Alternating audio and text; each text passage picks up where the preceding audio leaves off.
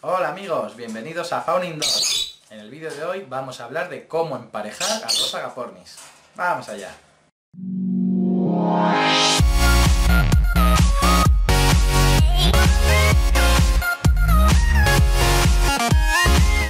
Lo primero que tenemos que tener en cuenta es que no es lo mismo emparejar a un agapornis que está él solo con otro agapornis que también está solo a emparejar a un agapornis que ya tenía otra pareja y ahora queremos cambiarle por otro.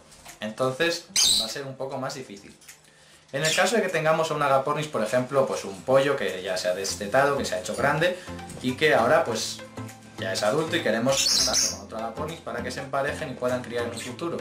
En este caso, lo que tenemos que hacer es colocar a un agapornis en una jaula y al otro agapornis con el que queremos emparejar en otra para que ellos puedan verse, puedan oírse y demás, pero que no puedan llegar a interactuar entre ellos, que no puedan tocarse. Bien, pasado un tiempo tenemos que ver que los pájaros hablan entre ellos, que se llaman, que intentan acercarse, que está siempre, por ejemplo, hacia el lado de los barrotes, hacia donde está el otro agapornis. En ese caso, ya podemos pasar a ponerlos en la misma jaula, pero con un separador, ¿vale? Para que puedan llegar a tocarse con el pico y demás, pero que no caso de que pueda haber una pelea. Puede haber casos en los que veamos que la porni se pone agresivo con el otro, que intenta picarle, incluso se enganche de vez en cuando. Si vemos que esto lo hace muy a menudo, que están muy agresivos, tenemos que volver a separarles y esperar un poco más. Podemos ver por otro lado, si todo va bien, que a través de los barrotes, pues que están en, una percha que estén cerquita, que se dan comida a través de los barrotes, que se dan cariñitos, en ese caso ya podemos quitar el separador y dejarlos aunque siempre hay que observarlos muy bien para asegurarnos de que no tengamos una pelea grave ya que son animales que se matar. Bien, en ese caso puede ser bastante sencillo y puede pasar que en un par de días lo tengamos hecho. Ahí os enseño por ejemplo a Toñín y a Luna que son dos agapornis que es el caso que hemos hablado ahora, estaban ellos solos, traje a una hembra para Toñín, los tuve apenas yo creo que un día o dos como mucho, cada uno en una jaula, con el separador, y con el separador duraron un día, porque ya se veía que se querían mucho, estaban los dos juntitos, dándose comida, cariñitos, y entonces los junté. Este caso suele ser muy fácil porque son agapornis que quieren cariño, son pájaros muy sociables y al estar ellos solos están prácticamente desesperados por estar con otro.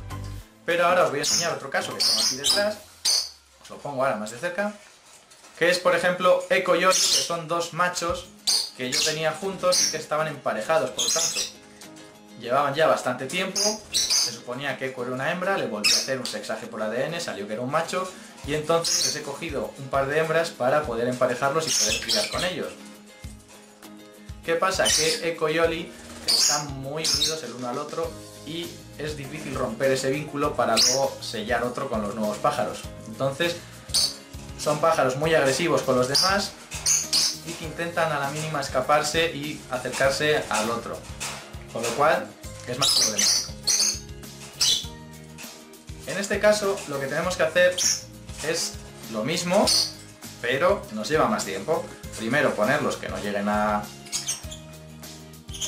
que no lleguen a tocarse, que no puedan agredirse, pero lo que sí que sí se puede, es muy importante, es colocar a dos en una habitación y a dos en otro, incluso si es posible en otro lugar, mejor, ya que si ellos se pueden seguir llamando, se oyen o si se ven, pues aunque estén con otro agapón y si estén en jaulas separadas, ellos van a intentar buscarse, con lo cual no se van a centrar en esa nueva pareja que les queremos poner.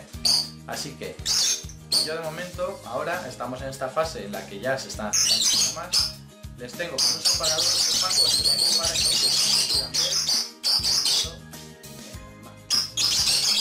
para que no se puedan ver y luego tengo un separador de posición con parejas. No os emocionéis. Con sus nuevas parejas para que se puedan ver y vayan interactuando. De momento están en una fase en la que todavía se pican mucho, no se pueden juntar, entonces va a llevar más tiempo. Tener paciencia. Aquí enseño también el caso de pica y coco, en el que pica también depende de la personalidad del pájaro. Pica, por ejemplo, era agaporni más tranquila, menos agresiva. Aunque, por ejemplo, ahora que está emparejada con Coco, es más agresiva con los otros pájaros, pero en ese momento ella sabía que iba a por esa razón lo junté con.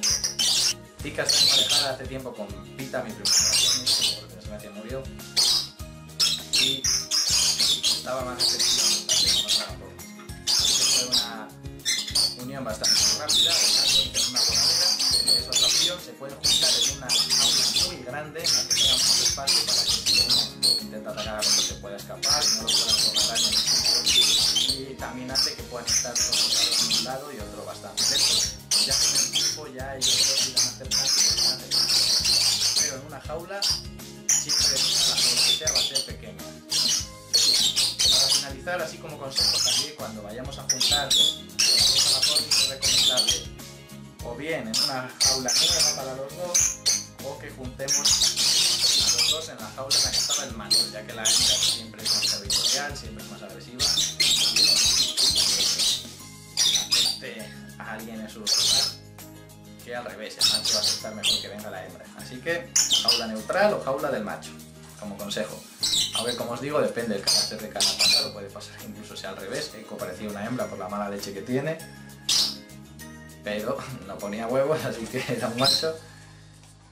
Y con Eco yo creo que, por ejemplo, me va a llevar bastante tiempo por su carácter, en cambio con Tika fue fácil. Así que espero poder enseñaros pronto cómo están formadas y espero que este vídeo os haya servido a vosotros para emparejar a vuestros agapornis. Espero que os haya gustado, si es así, dejadme un like, suscribiros al canal si todavía no lo estáis, compartirlo con vuestros amigos para que se suscriban y dejadme sus comentarios ahí abajo si tenéis algún otro método para emparejar a agapornis, si tenéis alguna duda que no explicado, que no haya quedado clara o alguna otra sugerencia. saludo.